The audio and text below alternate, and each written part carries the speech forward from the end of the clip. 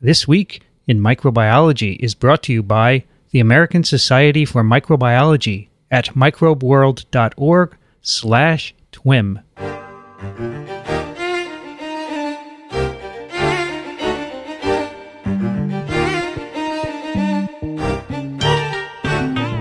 This Week in Microbiology, episode number 10, recorded on June 24th, 2011. Hi, everybody. I'm Vincent Racaniello, and this is TWIM, the podcast that explores unseen life on Earth. Joining me today, right across the desk here in my office, my old colleague from TWIV and TWIP, Dickson Despommier. Hello, Vince. Sorry I called you old. That's okay. I'm older than you. I meant it in a relative sense that I've known you I have more time. annual rings than you do. Dickson it does this week in virology and this week in parasitism, and I asked him to join us on today's episode of TWIM. Also joining us today from the Medical University of South Carolina, Michael Schmidt. Good afternoon, Vincent, and everyone else. It's great to be back. Good to have you as always, that bright voice of yours.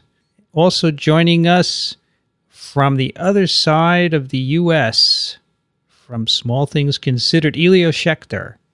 Hey there, how are you? How are you doing, Elio? I'm okay. I just came back from the East Coast. I was in Florida and in the DC area, and that was fine. But I'm glad I'm back here. You travel quite a bit, don't you? Yeah, unfortunately, But we missed you in uh, New Orleans. I know. I'm sorry I wasn't there. Yeah, maybe next year. We'll try. It'll be in San Francisco, won't it? I believe Yeah. so. Yeah, that's easy enough for me.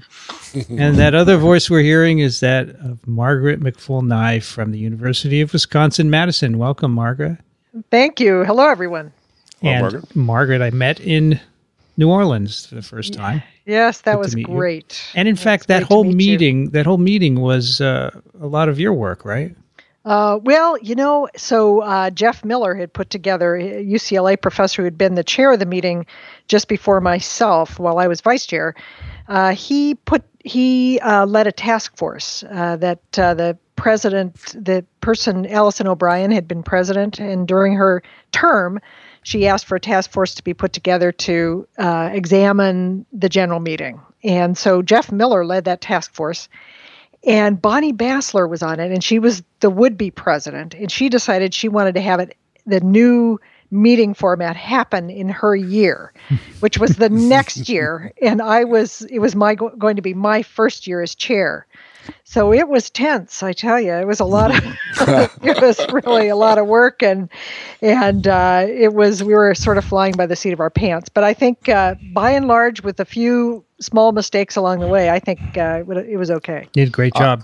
Yeah. I heard nothing but good things about it, Margaret. Oh, good, Elio. You know, it it there were there are a couple of things that we really need to do, and one is to get a very much bigger uh, representation of the young uh, microbiologists, because you know. This the field of microbiology is exploding, and and they're going to be the future. So I'm really excited about you know bringing them back into the speaking group, and also uh, we started a group called the Junior Advisors of the ASM meeting, and that's a group led of 10 postdocs and assistant professors led by Wow. Rob Knight. Yeah, so that's that's going to be good. So you're you're doing this for the next meeting as well, correct? Yes, that's right. So this this uh, I'll be doing uh, the chair position uh, is a three year position. So you're vice chair for three years, chair for three years, and past chair for three years. Wow, So it's a long kind nine of long years. commitment. Yeah, it is. Wow. it's a long commitment. good for you. Except Jeff got out of his three year past chair by becoming president of ASM. That's right. That's right. that, that was a. So he's a was, very clever UCLA professor. He is. He is. He's he's amazing. Yep. Great. Yep. Yep. Well, it was a great meeting. I'm looking forward to the next one. Yeah. Yeah. I hope Should that it will be. I hope we keep uh, improving the quality. I'm sure it'll be fun. Yeah. Well, today we're talking about your work, Margaret. I thought this would be a good time because when you were on TWIM at the very beginning, Mm-hmm. you, you had mentioned this wonderful squid system, and I thought Mm-hmm. it was so cool. So we were so we get you. You gave us two papers. One of them we'll start with is um, called microbial factor mediated development in a host bacterial mutualism. And I thought we could start by first having you describe to us this wonderful system of the bobtail squid that you study? So, um, so one of the things that's become very clear is that all animals are likely to uh, form lifelong relationships with microorganisms. And of course, as we all know, this in humans is becoming really a big deal. The problem is with humans, we don't we have 2300 or so different kinds of bacteria. And so to try to figure out what the conversation is, you know, sort of the molecular dialogue between the host human and all of its microbes is like being in a really loud cocktail party, you know, where you're trying to understand what's going on. And so, um, just as developmental biology looks for simple models, very simple systems in which you can try to understand how development of animals works, in symbiosis, that is, animal bacterial and animal fungal and animal viral interactions that are benign, what we're what we're doing is we're also looking for very, very simple models. So the squid is such a simple model. And so, what it is, the reason why I say it's simple is because there's one bacterial species or one bacterial phylotype or species and one host animal. So, we know that there's not more than one for sure. That's right. That's right. At least, uh, you know, there's a little twist, and that's the females have another um, another symbiosis that has a consortium of bacteria. Mm-hmm. But in the light organ, there's just one bacterial species called Vibrio fischeri, and it's a luminous bacterium. And the other thing that's really good about this symbiosis is that most symbioses, the what the bacteria give to the animal or to humans is help with digestion or they give them a vitamin or some nutrient. In this case, what the what the bacteria give the animal is light, and so in the and in the light is used by the animal as a camouflaging mechanism. In other words, it shines light, and so that it it actually is comes out at night and feeds in the water column. Uh, in in the Hawaiian waters, it's a Hawaiian animal, so it comes out of the sand. It lives in the sand during the day. It comes out of the sand and hangs up in mid mid water, just hangs up there, you know, several feet above the seafloor. And it emits light out of its ventral surface that the bacteria have made for it. And it matches downwelling moonlight and starlight. So it's like a Klingon cloaking device. it, it, yeah, it doesn't. So basically, it doesn't cast a shadow against the visual field of a predator looking up from below. So it's anti-predatory. Margaret, that, they, is that how do we know this? Is it has anyone ever taken the light away and watched them get eaten?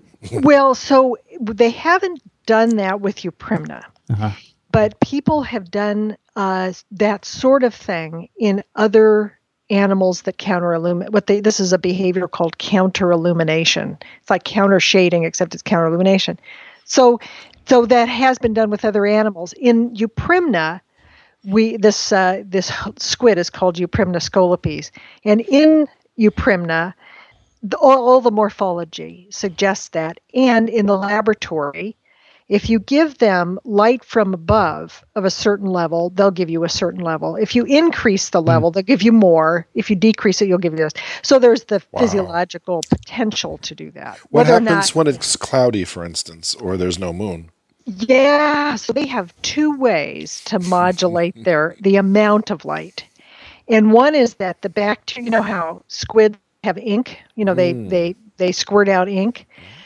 Well, the light organ is embedded in the ink sac. And so, and eh, yeah, and so the ink sac have Amazing. diverticula on them that move over the culture and make it wow. brighter or darker. Amazing.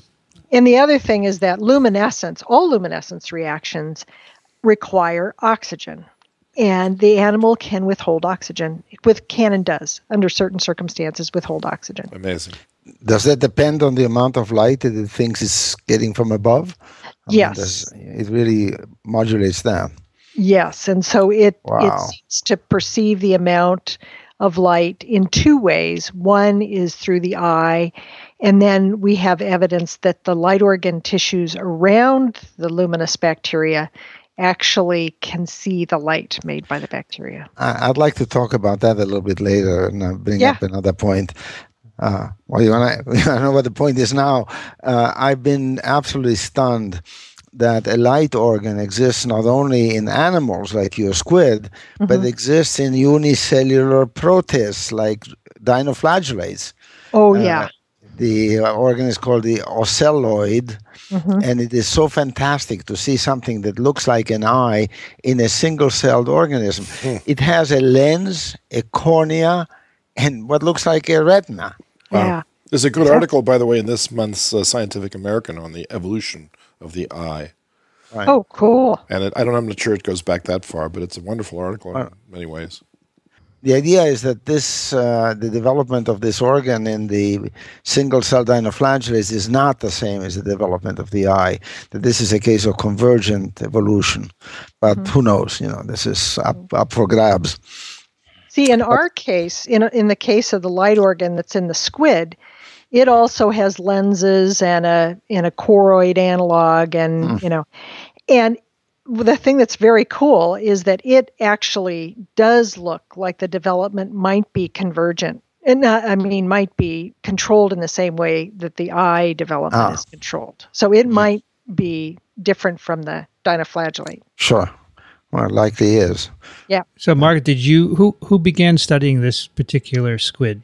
So you know what? So um, people had studied this animal to study um, uh, cephalopod embryology, and so when I was a graduate student, um, I was studying. Actually, I was at UCLA, and my study site was the Central Philippines, and I was studying. Um, luminous bacteria in fishes and it made me crazy because i couldn't raise the animals and look at the onset of the association so i was at a meeting and somebody said to me, Did you know that there's this cool squid in Hawaii that the cephalopod biologists have been have been growing uh, and studying for to study cephalopod development and embryology? Which what that meant was that you could bring them into the lab and that they would lay eggs and and you could watch development. And I knew um, that this animal also had a symbiosis and it was very likely with a very well understood marine bacterium, Vibrio fischeri. So I got very excited. And I approached a bunch of microbiologists and they didn't want to work on it. And finally I approached Ned Yeah. Well, I approached Ned Ruby and I said, Would you be interested? And he had worked, he was Ken Nealson's first student. Oh. Ken, Ken was a really famous uh, luminous bacterial physiologist at Scripps Oceanography, and Ned had gotten his PhD in working on Vibrio fischeri. By that time, he was studying something completely different, but he said he'd let one portion of the lab work on it, and that was 1989, and so that's how the whole thing started. And now there are about 15 labs that work on this symbiosis. And one, I had one more question. What does the bacterium get out of this? So. Oh, Uh, they get the I so that's a good question because I often tease the bacteriologists and, and say that the bacteria are enslaved. but, but, but but in fact, uh, the, what the bacteriologists tell me is that any place where you can get that many nutrients and, Yeah. and you know that's a good place. So in seawater, more importantly. yeah, yeah. And so you're, if you go into any ocean in the world, will you find these bacteria, Vibrio fischeri? So Vibrio fisheri Fischeri. uh, is found in most every every body of water. Um, not it's it's typically temperate uh, to subtropical is where it's most abundant, but you will often find it outside of that. and in the deep sea organisms? Um, so Pete Greenberg and Ned Ruby, when they were postdocs with Woody Hastings at Harvard, uh, they did a study in which they went to the Puerto Rican Trench and Wow. they they took a transect. You know, they went down and they sampled it at a whole variety of depths, and they found fischeri quite deep. You know, thousands of meters. So. You know who knows, um, and those were viable cells. In other words, they did, this wasn't the This was know. before the days of PCR. That's right. That's what- and so they were putting them on plates.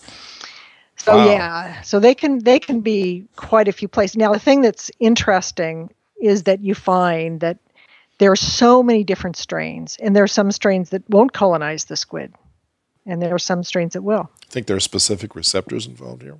Right. And also, they may exclude other bacteria as well, right? Yeah. Oh, they. Yeah. In the absence of Vibrio fischeri and the surrounding seawater, nothing else colonizes the the animal. hmm That's really marvelous. What what's the story there? Is it just receptors? Do you think specific So- for fischeri?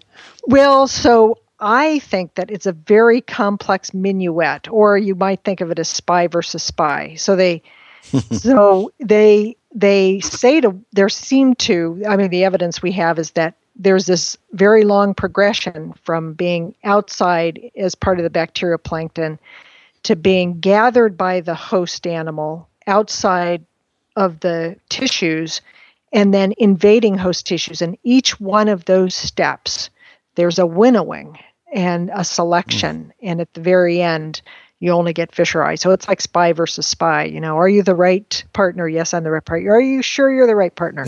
sort of thing. So, Well, Margaret, one of the fascinating things I think you said in the beginning is this uh, lifelong relationship that's developed.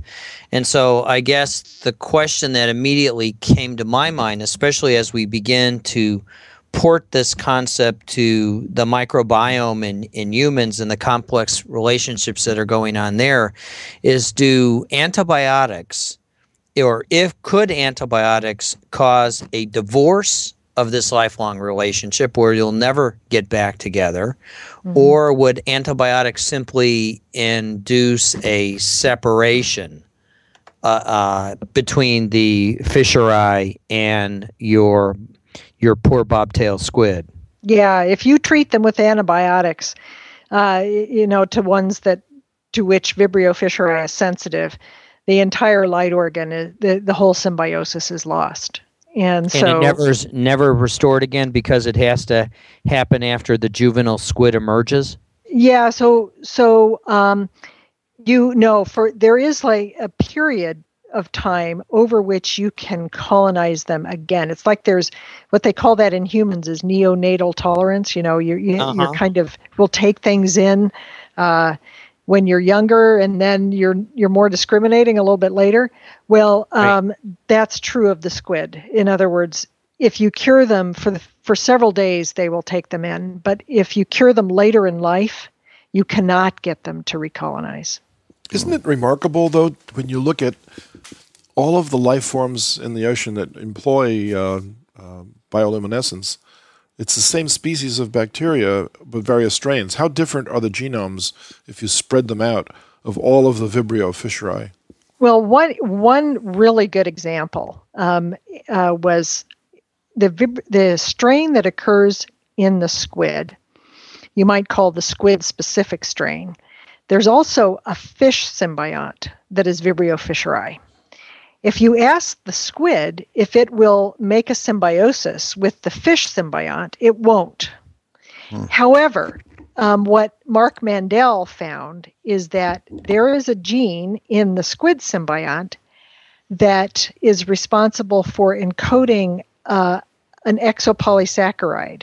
That's, in other words, a surface a surface goo on Right. the outside Right. of the bacterial cell. And if you take that gene and you put it into the fish symbiont, the fish symbiont will now be capable of colonizing the squid. so yeah, so there's there's there are these things that have happened to, to render specificity. And you think the uh, the differences might have arisen through ocean viruses that are trading genomes back and forth? Oh, that's an interesting idea. I you know, I don't know. I don't know. the It infamous phage Yes. some kind of lateral gene transfer for sure. Because Vibrio cholera arose that way when they acquired some Enterobacteriaceae genes for enterotoxin. And Yeah. prior to that, they were totally benign, and now they're causing havoc all over the place. Right. Can I ask a different question, Margaret? What's the collision frequency, uh, or how important is the collision frequency between the bacteria and the, the juvenile squids? In other words, how many bacteria does it take in terms of some volume in which the squid is for it to be able to colonize? And leading to that is, do you think there's any chemotaxis involved? Absolutely. So, so one of the things that happens is when the squid hatches, it has on on the tissue that's going to be colonized, it has a very bizarre set of structures that are dedicated to to promoting the colonization. And basically, what happens is there's a set of cells that shed mucus, oh and the bacteria um, that that are in the seawater begin to associate with that mucus. And I mentioned winnowing. One of the very cool things is no gram neg- positive bacteria associate with that mucus, hmm. only gram negative. And then, so you can put fischeri in there with a you know other gram negative bacteria, but eventually Vibrio fischeri will be the competitive dominant in this mucus. Mm. And so there's this winnowing that goes on, and Vibrio fischeri, it appears now, uh, we're learning, attaches to the cilia. Um, and and we believe that they attach to the cilia that are on the outside, that are part of this bizarre structure uh, that is juvenile specific and that promotes infection. And so they're sticking out there. And when they stick, they talk to the animal. Uh, you know, they transport uh, talk what they transport materials. In fact, it turns out to be one of the same elements that induces morphogenesis in that one paper. It's mm-hmm. the peptidoglycan monomer. They transport that to the animal, and the animal responds back uh, with, we think, shedding more antimicrobial things. And that may be what's causing there to be a winnowing down to only Vibrio fischeri. And so at first it starts out as being a really complex party, and then eventually it turns out to be just one bacterium. Then what happens is they're outside. And as Elio said, you know, how do they know where to go, right? So they have to find three pores on the surface, and they go into those pores. Um, and the way that they find those pores is by chemotaxis. And so they, uh, they the animal is um, releasing something that they are attracted to, and they they just swim toward that chemical that is being released out of those pores. Do you think it's the nitrate, nitrite, re- anaerobic respiration that's the selective pressure for these things because that's a great signal for something to hone to. Well, what we think it is, or we, what we have evidence for, is that it's chitobiose. Oh. Which is really interesting because I don't know if, if you followed Gary Schoolnik's work on um, chitin being a chemoattractant for Vibrio cholera. So, and chitin causing changes in Vibrio cholera gene expression and right. so on and so forth. Right. So, chitobiose looks to be the thing that is produced by the animal um, and that that is the molecule that, that is the chemoattractant. And squid don't have any chitin other than that? They, they, do. they do. They do. They do. Okay, they make they do. chitin. Yeah. But in terms of the respiration, then that fits because you're you're putting out a carbon source right. that they have the unique metabolic potential to give them the selective advantage to degrade. But as any first year student knows, that unless you have that electron acceptor uh, that can take the carbon flow, you mm. you even though you have an infinite amount of substrate, unless you have that electron acceptor that can take the initial oxidation hits, mm-hmm. you won't be able to utilize it. And so together, I think we begin to see how the Vibrio really has the selective advantage because of both this substrate, the chitobiose, as well as the ability to do this anaerobic respiration. Well, the thing, one of the things that's cool is that it seems that they're it, at the initial stages, they're chemo they chemotaxed chitobiose, and there might be quite a few of them.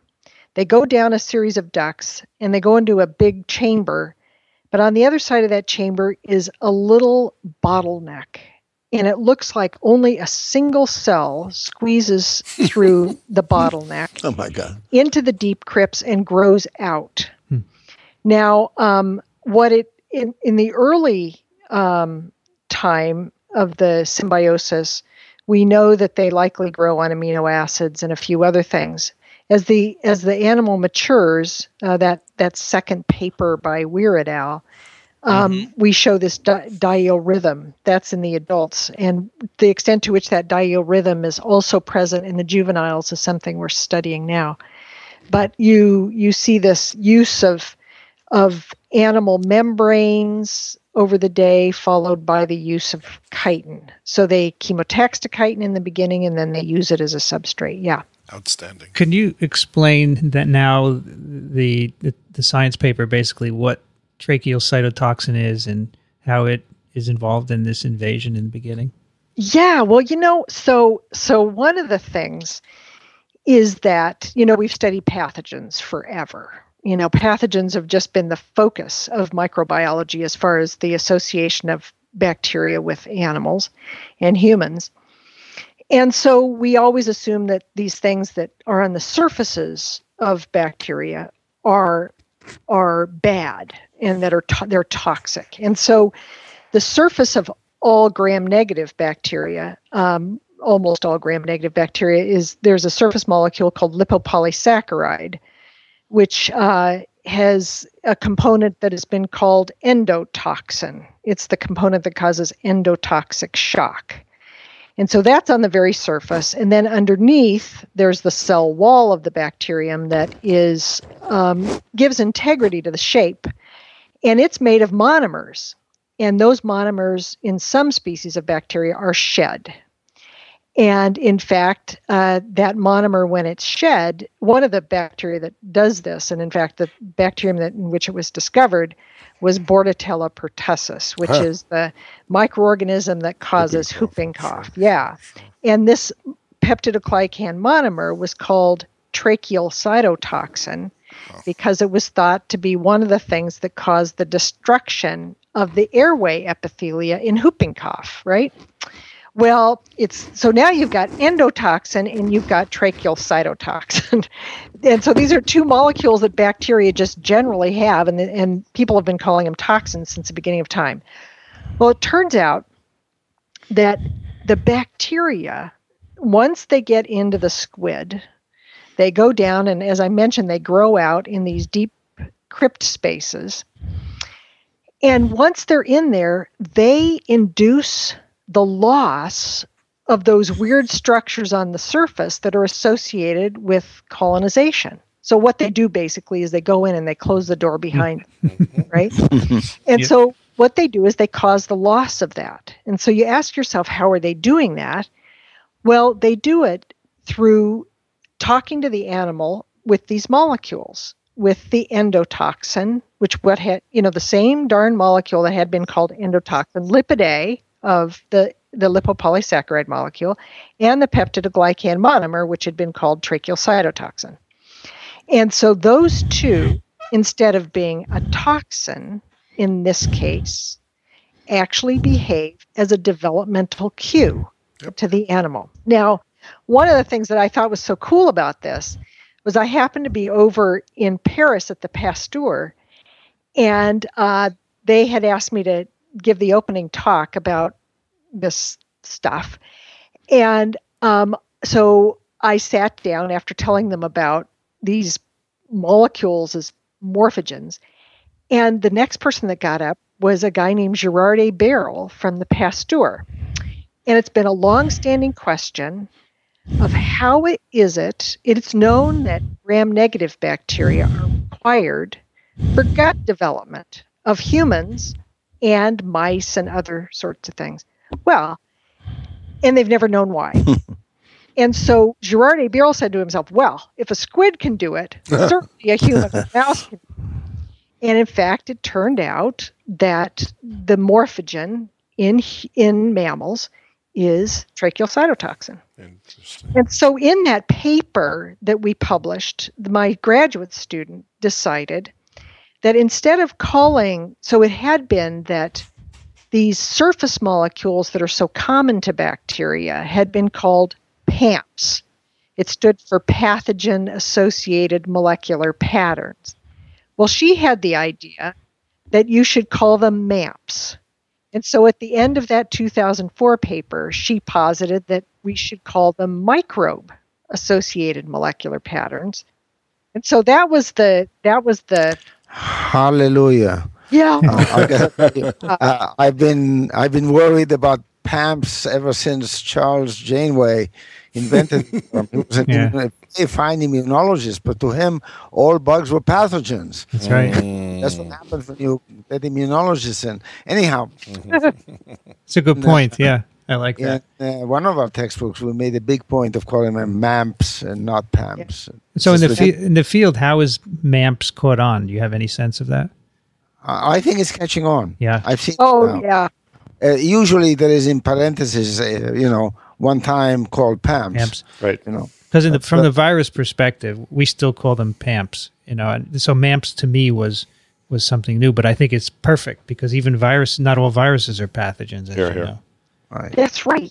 And I think it goes back to the whole issue of now that we have the tools to study the microbiome mm-hmm. and the mm-hmm. complex interactions between the hosts, I think now is the time where we're going to become more inclusive of how these microbes that are often overwhelm the host genome by a factor of at least 10, if not larger in some instances, it really begins to illustrate how we may be, our genome may be the tail that's wa- wagging the dog. Here, here. Oh, absolutely. Absolutely. And you know, it, it it's amazing because in the uh, Ruslan Medzitov, an immunologist, did a study in which he showed he thought that if you could stop the signaling to the immune system of the microbiota of the gut, that that a mouse or a or a mammal would be healthier. And it turned out hmm. that we absolutely require the interaction with MAMPs for gut homeostasis. In yeah. other words, it, they turned out to be far worse off this if they true. couldn't signal with their microbiota. So that was another immunologist. I mean, he, you know, they yeah, yeah, they have a particular way of thinking, and and it's, the, you know, they're what's really fun about this whole thing, in my opinion, is the field that is going to be most impacted is going to be immunology. Here, here. Uh-huh. Well, we should say, in fact, that uh, when Janeway started with PAMS or MAMS, that in fact this became this was really one of the great breakthroughs that put the innate immune system on its feet. Right. Oh, yeah. I mean, it led to the led to the understanding of the interactions with with receptors like toll-like receptors and so forth. So this has been a new day in immunology. Yeah. And it's it's interesting. It's really remarkable how much of an impact on it microbiology has had. Oh yeah, absolutely. good for us. Good for our side. You bet. And, and you almost you almost want to ask the question: Does the poor bobtail squid have complement? it does. Well, you would expect it because of the way these things are are remodeling themselves. Sure.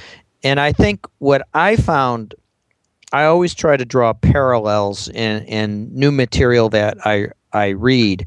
And this was a, a new area for me. I sort of knew the story of the luminescence, but I hadn't gotten into the level of detail of how the squid actually ejects material and how this happens and so i immediately thought back to last the last twin in which we were talking about diarrheal diseases and thinking about e coli and Shigella. And is diarrhea just nothing more than a different form, if you will, of mutualism, where you have E. coli that requires 100,000 microbes to cause an effect versus Shigella that only requires one? And you look at the development that's going on, albeit with um, the the E. coli like creatures that use type 3 secretion that actually cause a morphogenic response. And in the case of salmonella, where the salmonella sacrifices some of the population for the good of the bulk of the population in order to generate enough tetrathionate that confers a selective advantage for salmonella growing in the lumen. And so I think your binary system where you have Vibrio fischeri and this beautiful animal that goes through these behaviors, we can begin to assemble the binary experiments that will help the poor soul molecular biologists who are doing micro and these very complex systems to begin to design their experiments so they can ask and answer real questions. So I have a question about Shigella. So um, you had mentioned that Shigella, you know, the the min- the infective dose is so low in Shigella. So you you take you can take one to ten you can ingest one to ten Shigella as I understand it, and you can you get full you can get full blown sh- shigellosis. Has have people followed whether or not they divide all the way down, or do they go down and get to a place where they divide, or how does how does Shigella progress? I wish Jerry Kirsch were here to answer that question. Oh. I honestly don't know. It's one of my fascinations uh, with this whole enteric interaction because if you go back to the juvenile squid and developing these complex interactions in the crypts mm-hmm. and the whole intestine, and I think either one of one of your two papers was talking about how the importance of our understanding these interactions can actually lead to a better understanding of things like inflammatory bowel disease. I, oh, yeah. I think this is where we really need to begin to carefully and and as elegantly as possible to dissect these interactions and yeah. it it's I think that the the tracheal cytotoxin by taking out the cilia in the case of uh, Bordetella the tra- the tracheal cilia. And in the case of Neisseria gonorrhea, where it takes out the cilia of the fallopian tubes, it immediately provides an understanding of how gonorrhea can cause pelvic inflammatory disease, which then leads to uh, effectively the sterilization of of the woman because mm-hmm. she's lost the cilia that can effectively move the egg down the tube from the right. mere interaction of the Neisseria interacting and doing this biology that in another species is actually to its selective advantage. It's truly elegant. It's really fascinating the case of Bordetella pertussis and gonorrhea that you get tracheal cytotoxin causing damage. But then, in the case of maturation of the gut associated lymphoid tissue, it's required there. Uh-huh. And it also seems to be the element shed from bacteria that sets the third wave of the mammalian sleep cycle. And so, it, without tracheal cytotoxin and its interaction, its normal interactions, we'd be a mess. And so it's it's like con it, it just drives home the idea that it's context specific. Sure. All of these things when they're presented in the wrong place at the wrong time. You, you know, you can you can be in big trouble. Let me add my two cents here. I spent my uh, PhD thesis work at uh, Notre Dame uh, working on germ-free animals. Wow. So I, I, presume that I'm now called an A microbiologist, but I, I worked on ignotobiologist. well, known life, that's true, but uh, no bacteria. How's that? So I was investigating a worm infection called Trichinella spiralis, mm-hmm. and I mm-hmm. was infecting germ free or bacteria free animals. And they gave such an erratic response that I dropped that project and moved on to something else. But now, in retrospect, of course, I should have stayed with that because Trichinella requires a normal microbiome in order to infect mice. Mm. And when you, when you take when you take those mice out of the incubator and allow them to conventionalize and then infect them with trichinella, everything is fine.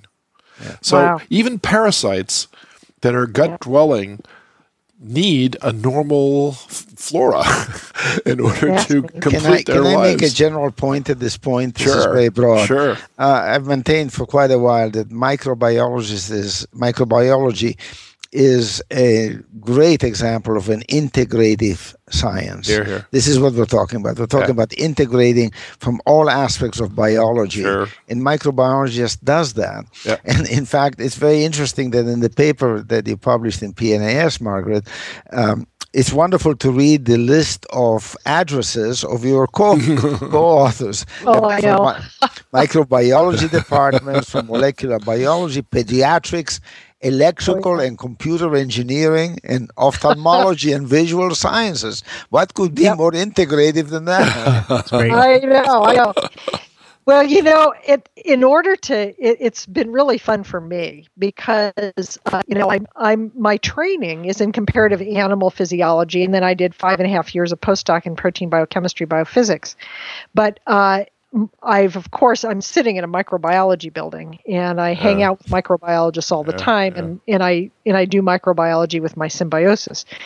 So, uh, but but when it comes to to to getting you know really high quality reagents and things like that you want L- good lps you go to mike apicella at university of iowa you know and that sort of thing and, and he'll he'll keep you he'll keep you straight on how to use it properly and all that other so um, i've had just wonderful wonderful collaborators and that particular project was a really complicated one and we wanted to find out so there's this huge question in symbiosis. Once you get your partners, how in the world do you keep them? You know, how do we keep all you of our them happy? You make them happy. Yeah. So that so that one they don't overgrow yeah. like our microbiota doesn't overgrow us in in something like IBD or or thrush or some of these other bad things that can happen. So there's got to be the other thing is that your immune system could completely eliminate them. So there's got to be an incredibly delicate balance that's created to keep us healthy. Yeah. And in the squid, this involves this really, really complex diel rhythm. And at the end of the day, what was fun for us was to see that, and you know, it was just a testament to how biology is so siloed that we often don't talk to one another. so the mm. um, the people who study the gut epithelium have shown that there's a tremendous circadian rhythm on the transcriptome of the gut epithelium. And the people who study the mucosal immune system of the gut have also found that there's a profound circadian rhythm on the mucosal immune system.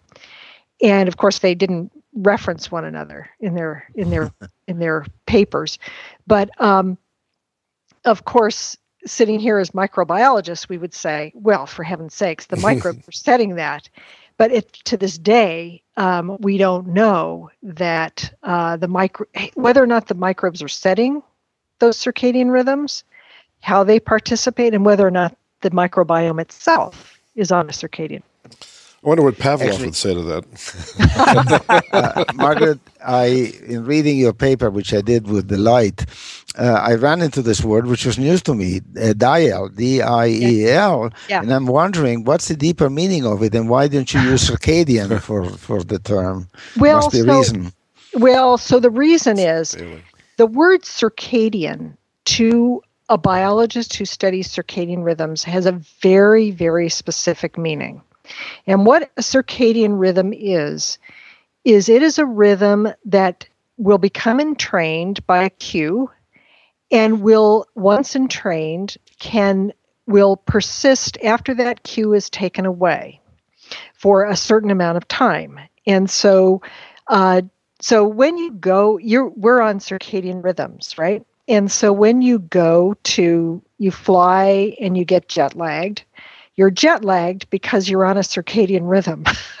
and even though your light cues and everything are different, your body is still responding to the to the rhythms of the place where you had come from because you had been entrained there and it takes you a few days to adjust to a new circadian rhythm now a diel a circadian rhythm is a subset of diel rhythms and a diel rhythm is any kind of rhythm that's daily right so in the case of the squid it's so complex. There are elements of it being circadian, that is, in other words, the, there's some anticipation of light, the light cue, and some anticipation of the onset of darkness.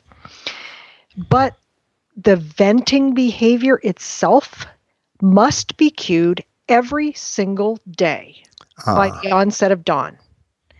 And so that is not a circadian rhythm. That's a, it's a daily rhythm or diel rhythm. You have to reset the clock every day. Every day. Well, you have to you ha- in order to get that particular Right. uh, event to happen, you have to to give them a light cue. Now that I know what dial is, I'm. I'd like to ask you a question about the paper. As I say, it's fascinating, but the, the most puzzling thing to me was the expulsion of the Vibrio fischeri every morning at, at dawn by the host. And, uh, you know, this makes sense, I agree, but it's puzzling in terms of the uh, energetics of it. I mean, there's a lot mm-hmm. of energy wasted in doing this. And what are your thoughts about that? Why does it do it this Yeah. way? Why doesn't it just retain the bugs? Well, so so it's it's a really interesting question because and and it's and it's a lot of controversy. Uh, you know, Rich Lenski, for instance, um, feels that it might be a way to knock the population down um, and to dissuade cheaters.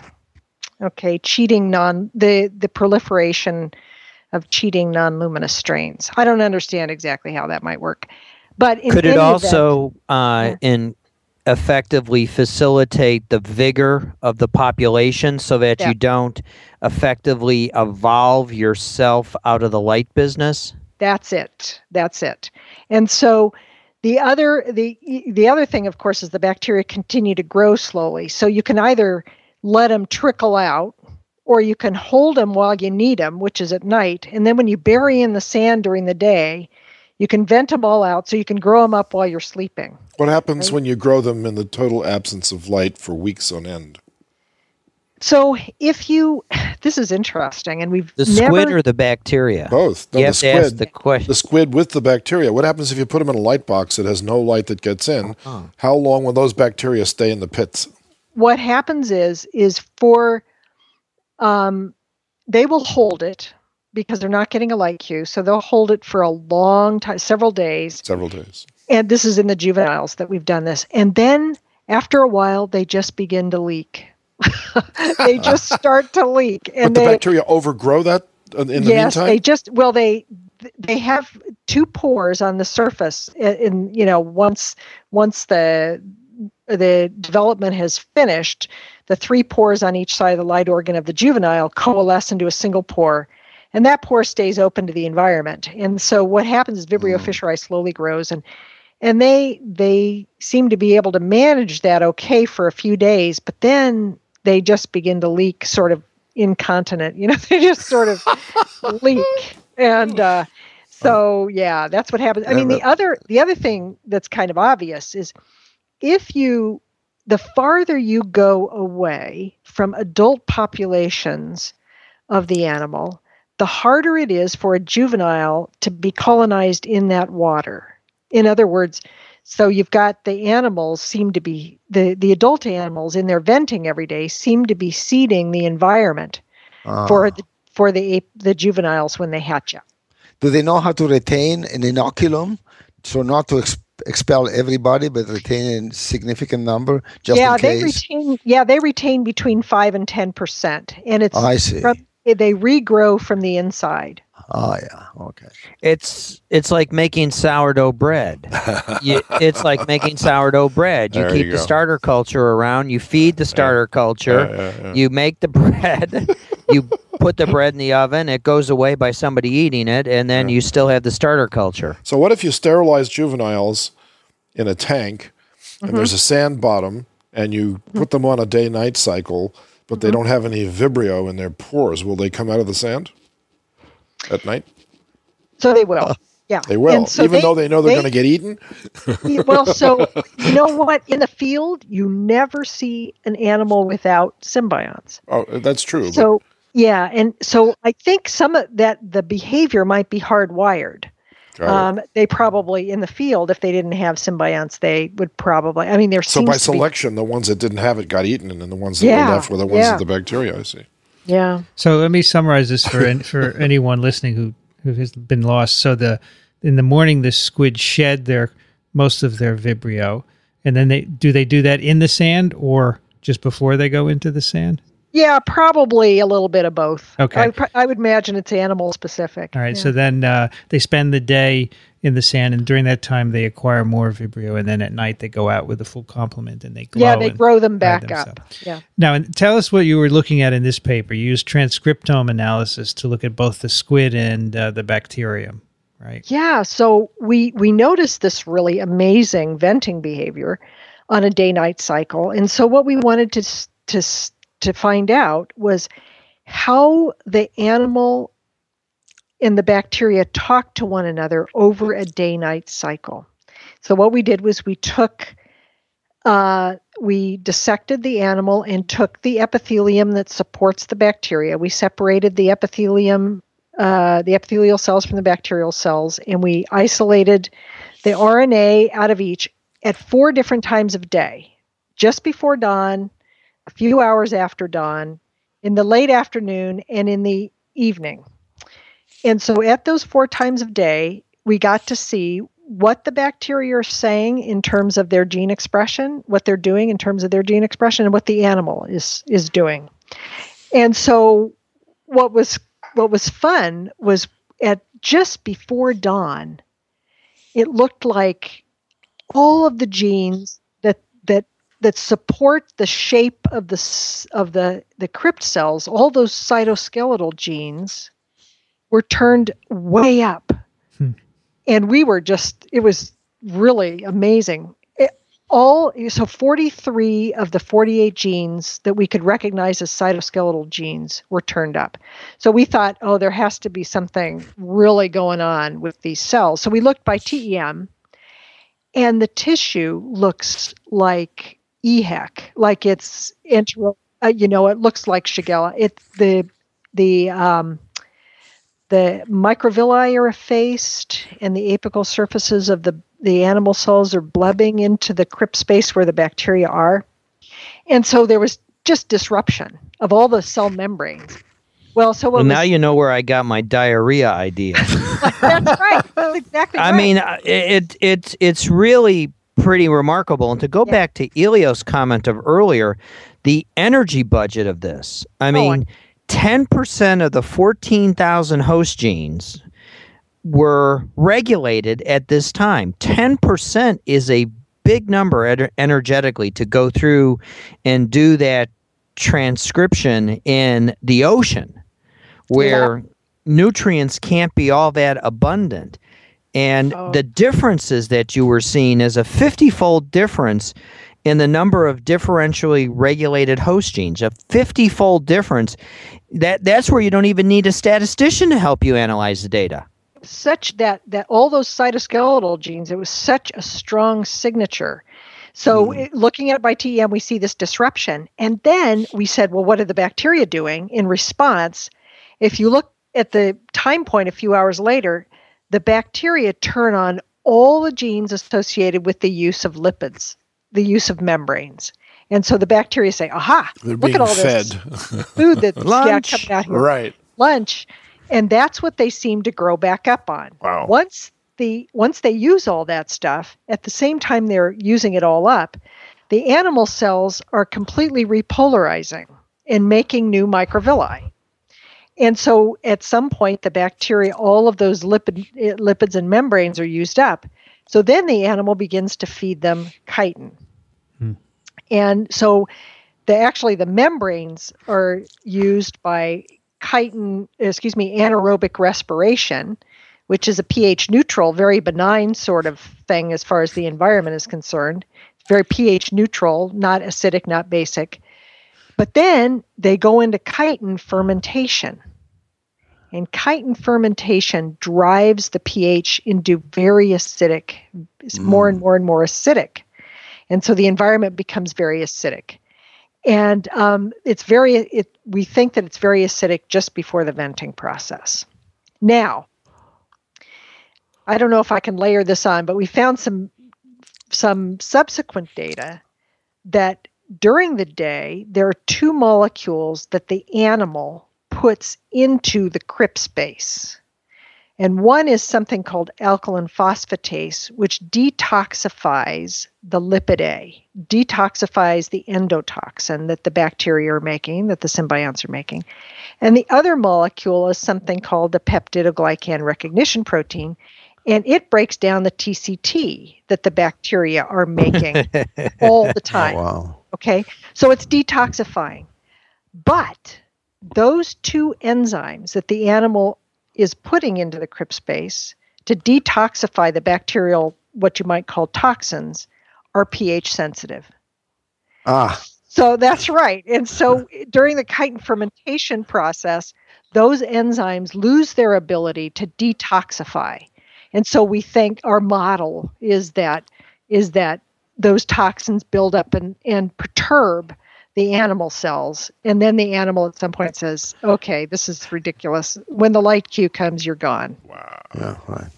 It's the it's the squid's equivalent of diarrhea. That's right. That's right. and it and it's really a very elegant and simplified model of diarrhea. And when Yeah. when you begin to think about the molecular biology that this system has taught us, it will give the microbiome folks working in the gut where you have salmonella, shigella, E. coli, these very different um, commensal organisms like E. coli to the frank pathogens like salmonella and shigella, it will allow us the ability to begin to figure out a strategy to manage these complex diarrheal diseases. We hope so. Richard Garant, are you listening? Uh, Can I can I go back to a point you just made? You just said something very interesting about the alkaline phosphatase that Yeah. uh, detoxifies LPS.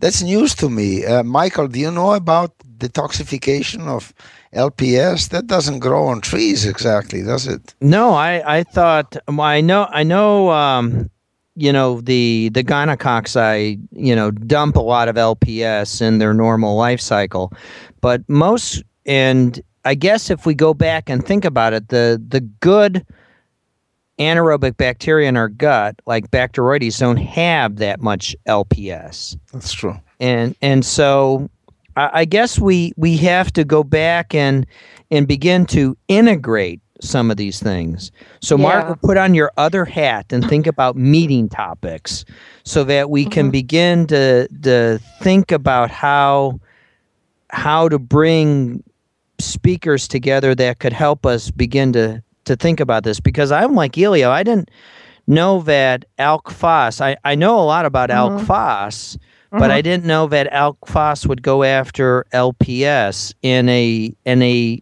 it, to to use the Yeah. analogy in a real clinical way, where it's actually so- responsible for a clinical thing, where it's doing something important for the host in this particular case.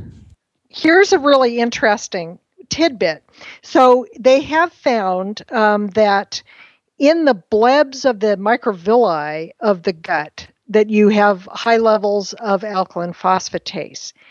And Karen Gillerman at the University of Oregon showed in zebrafish that um, that the alkaline phosphatase that's in the gut of zebrafish uh, does in fact detoxify by you know pulling the the two the the two phosphate groups off of either side of the LPS molecule. It um, detoxifies the LPS. Wow. So Karen Wow. Gillerman, I think that was a cell host and microbe paper maybe four years ago. And so Oh, it went right by me. yeah, yeah. Very cool paper. Well, what about this in inflammatory bowel disease? Because this this could begin to form a hypothesis about inflammatory bowel disease if if people are not making the right amount of alkaline phos, if humans make alkaline phos to effectively clean us out of the bad bacteria that then will drive the immune system to cause the chronic inflammation. Um, I, I got to go and read some of that that literature and ask that question. Or any of you working on inflammatory bowel disease, ask the question about what's the level of alk phos in in that patient population and whether or not the bacteria are, are going there. There's a recent paper in PNAS by Flavel, and uh, and uh, uh and Gordon uh, and Gordon, and it talks about uh, the inflammasome and the connection between the inflammasome, which is a collection of proteins involved in making cytokines involved in inflammation, etc., and the fact that in mutants, uh, devoid of some of the inflammasome, there's a special bacterium, a member of the Bacteroides, Prevotella, which takes over. And I, yeah. I wonder if there's all this is not connected together. It very because Prevotella is a wonderful little gram negative that right exactly that is when it gets in the wrong spot a frank pathogen. Okay, uh, I just wanted to read a few emails before we wrap this up. Um, the first one is from Mia, who says, Hello to Vince and all you other wise humanitarian folks bringing us TWIM and TWIV. I'm a 47 year old individual diagnosed with GAD and OCD. Germophobia used to be my most prevalent and crippling symptoms of these disorders until my doctor found the right drug combo. I began listening to TWIV to educate myself in hope of conquering my fear of germs with knowledge in case I ever develop a tolerance to the medications. I just wow. wanted all you good people to know what a service you provide to people from all perspectives. And thank you for changing my attitude toward viruses into one of deep interest and curiosity and little worry. I look forward to understand other microbes in the same positive light as I listen to and enjoy TWIM. I have one request for a topic. One microbe that nearly drove me over the edge before treatment was a long recurring bout of C. diff colitis. Oh my. It's a rough one. I read awful, scary internet websites devoted to this deadly hospital plague, but my kindly physicians asked me not to pay any attention to those sites. Why do we have such bad bugs in our gut, and how do we get them? And RE TWIM number two have not fecal and enemas been used in the past to fight C. diff as well? Any info you could provide on this uh, microbe in a future TWIM would do a great kindness to a non scientist like myself. Thank you so much for your huge contribution to public awareness and sanity. Well, in fact, Mia, we had hap- hoped to have um, a fellow from the University of Michigan, David Aronoff, uh, on our TWIV, our TWIM episode in uh, New Orleans, and he forgot to show up, but he promised us he would come back on, and he, he, he works on C. diff so he can tell you all about that. I think that'll be just perfect. Uh, Lance writes, You did something similar to this in TWIM number two, but I thought this looked interesting from yesterday's Nature Enterotypes of the Human Gut Microbiome. And talking about multidisciplinary studies, Elio, this has about 50 authors looks like a paper in physics rather what they than did here is they they sequenced 22 European metagenomes. Wow. From Danish, French, Italian, and Spanish individuals, and added a bunch of others as well, and looked at the bacteria. This is actually something we could do an entire TWIM on. Absolutely. It's very interesting. What we have to do is read all the sequences. That's right. We'll read the sequences. oh. Uh, this is something that we tap danced around today looking at a very um, elegant system where there's only a Vibrio and a, a bobtail squid. And the unfortunately, the u- human microbiome is much more complex, and I think the opera is going to have many, many more players.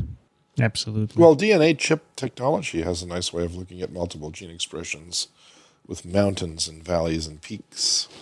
So maybe you could work out some kind of a visualization technique for this too. Yeah, it's all about visualization. It is. It's it's heat maps. You you, yeah. you need to really yeah, no, think about right. ways of, exactly. of, making heat maps accessible right. and, and thinking right. about heat maps.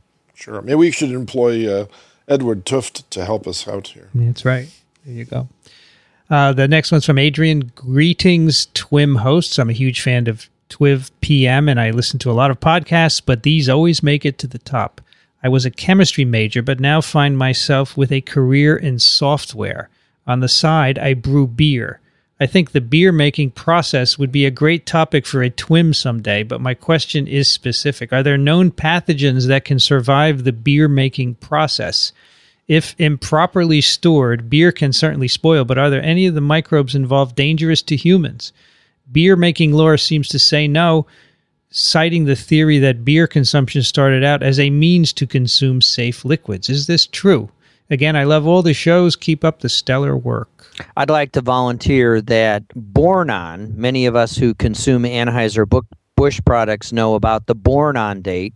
That was developed by a microbial physiologist who happens to work for Anheuser-Busch, and it has to do with the skunking process associated with beer, where beers, as they age, the end products begin to react with the materials in beer and it skunks the beer or it gives it its off taste.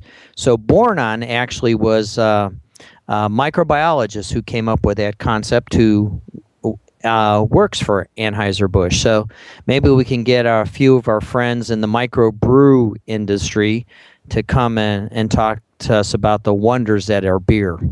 As long as they bring yes. samples through through Skype, it's going to be hard.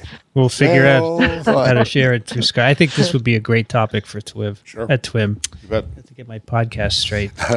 All right, let's wrap it up. That's another TWIM. You can find us at iTunes, at the Zune Marketplace, at microbeworld.org, and we also have an app so you can listen on your smartphone, your Android or iPhone. You can find that at microbeworld.org slash TWIM. Send us your questions and comments. We have a bunch lined up. Keep them coming. Twim at twiv.tv.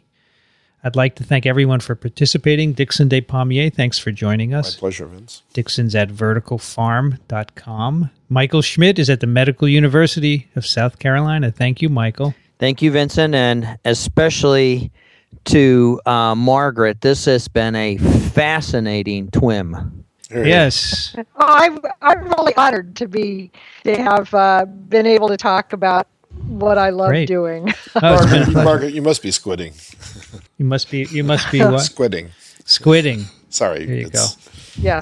I know. Ooh, I know. Thank you. Thank you. Bad, bad. Margaret's at the University of Wisconsin. Yeah, thanks so much, Margaret, and that's beautiful, beautiful, beautiful work. It is. Thank you. And Elio Schaechter, thank you for joining us. Oh, it's so much fun. Small things considered, you can find Elio. I am Vincent Racaniello. You can find me at virology.ws. I'd like to thank ASM for their support of TWIM, Communications Director Barbara Hyde, Chris Condayan, and Ray Ortega for organizational and technical help. Thanks for listening, everyone. We'll see you next time on This Week in Microbiology.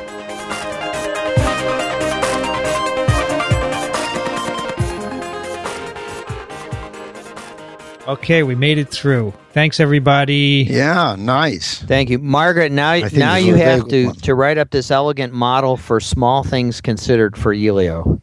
hey, absolutely. I th- haven't I, Elio. I've I've you've covered it a couple of times. We did uh, aspects of it, but I think yeah. need it needs quite a bit more. Figure three from the PNAS paper may be the the best way to do it because you can do you can use figure three to teach introductory introductory microbial physiology. It was absolutely fascinating from that oh. PNAS paper. Oh, great! Thank well, you. Well, if you do that, Elio, put a link to this TWIM episode. Absolutely, you're not kidding. So um, yeah, no, we we we, but we certainly need you. Uh, we had a piece on uh, playing the light organ two ways, but that's three years ago. And, yeah, uh, yeah, yeah, yeah. We need we need more from you. Uh, if you have a student or a postdoc who likes to write, by all means, yep. we encourage that. Out, outstanding. Okay, that sounds fun. Thanks, everybody. All have right. a great weekend. Thanks, Vincent. Bye bye.